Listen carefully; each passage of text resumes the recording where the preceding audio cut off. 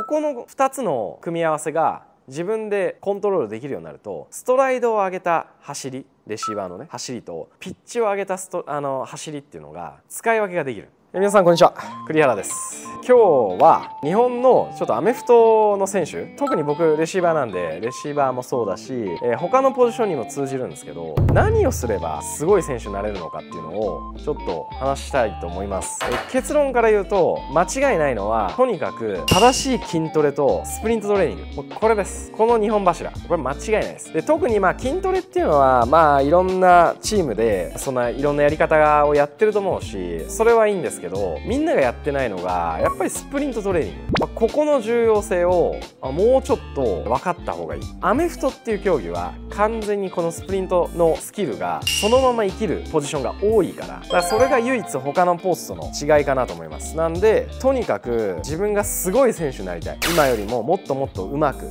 強くすごくなりたいっていう選手は絶対にスプリントトレーニングやってください。もうこれ間違いないです。僕はまあいろんなところでずっと言ってますけど。で最近ね僕ずっと前から言ってるしやってきてるんで。やっとねあの最近の選手はスプリントトレーニングを結構やったりしてますよね。あの X リーグの。それこそプロの選手とか日本人のね。あのトップ選手がやっぱやるようになってて。で結論絶対やるとパフォーマンス上がるんですよ。アメフトっていうのはじゃあ特にレシーバーで言うとまず正しいスプリントができるとストライドの上げ方ピッチの上げ方っていうのが分かってくる。ここの2つの組み合わせが自分でコントロールできるようになるとストライドを上げた走りレシーバーのね走りとピッチを上げたストあの走りっていうのが使い分けができる。でそうするとシチュエーションによってベストな動かし方技が出せるからもう全く変わります。レシーバーの動かし方が。だからまああのレシーバーは特に僕思うんですけどスプリントトレーニングをスプリントができてればいいけど大抵の日本のアメフト選手。じゃあ特にじゃあレシーバーで言うとほとんどの選手がやっぱりスプリントっていうのが基本的にできてないです。どうしてもこう設置反発を得てない流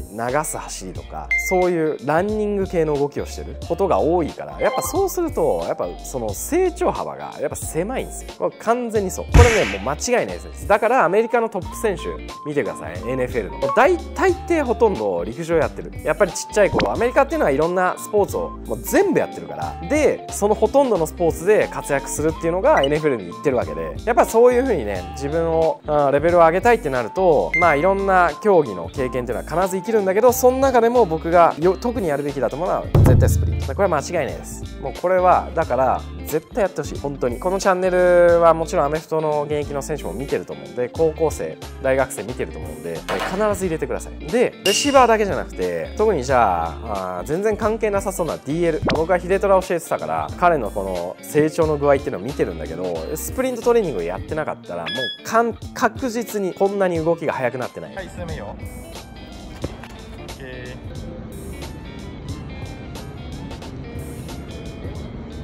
でもちろん僕のトレーニング筋トレねの方法もあの彼にはドンピシャにはまったんだけどそれだけじゃなくてやっぱスプリントのトレーニングっていうのはかなりでかいです。で DL もスタートの爆発的な動きスタートとかやっぱり動き方とかは基本的にやっぱスプリントができた方がいい。地面の反発を得る動きっていうのはスプリントっていうのはね反発がすごい重要だから。こういう動きっていうのは切り返しにも必ず生きるしストップ動作にも絶対生きてくるから結局全部の動作の質を高めることになる。やっぱりこれはポジションに関係なく、えー、絶対にやった方がいいです。難しいのが純粋なこう陸上でのスプリント。例えば短距離ね 100m とか 200m とかそのいわゆるこう陸上のスプリントのやりり方とどうしてもやっぱそれをフットボールねアメフトに着替えないといけない部分が出てくるからもちろん基本的な動きっていうのは絶対一緒なんだけどやっぱこれをじゃあフィールドアメフトっていう競技にずっと走ってる中で急にストップ動作あと急に相手がヒットしてくる、えー、急に切り返すっていう動作をする前提でまっすぐ本気で走るからやっぱりこう完全なスプリントのいわゆる世の中に出てるその教科書とか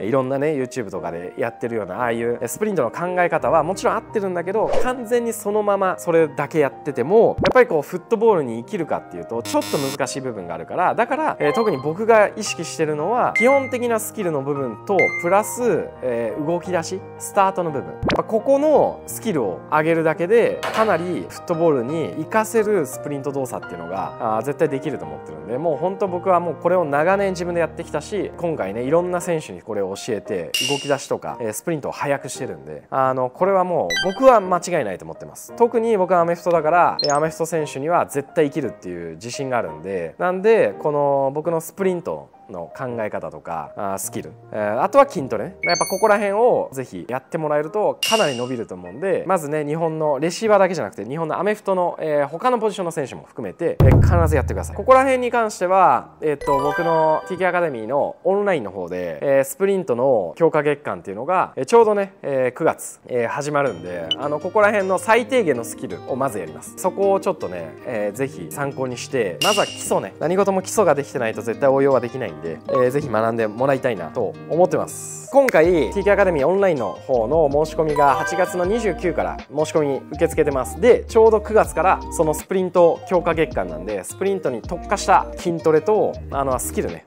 大事なのめちゃくちゃスキル大事だから。で今回は基本編なんであの基礎的な動きだけやります。なんで皆さんアップとかそういうアフターとか何でもいいんだけどあの短い時間でできる内容がほとんどなのでぜひこれを覚えてでまた次回ねスプリント強化の応用編でより、実践に生きる動きっていうのを、やっていくのでこれはもちろんフットボールアメフトの選手には確実に生きるのとあのもちろん他の球技あそれこそサッカーもそうだし野球もそうだし、え、ラクロスだったり、ラグビーだったりもちろんねあのバスケにも動き出しはいきます。なんで完全なスプリントだけだとどうしてもねこれはバスケとかまあサッカーとかこのシチュエーションでこんなこうね足を前でさばかないよとか膝上げないよとかまあいろんなあるとと思うんですけど動き出しっていう部分に関しては絶対どの競技にも生きるんでで共通するんで、えー、ぜひねそこら辺を、えー、今回この TK アカデミーのオンラインの9月の方でめちゃくちゃやるんで、えー、ぜひ、えー、入会をお待ちしてます。それでは以上です。さよなら。バイバイ。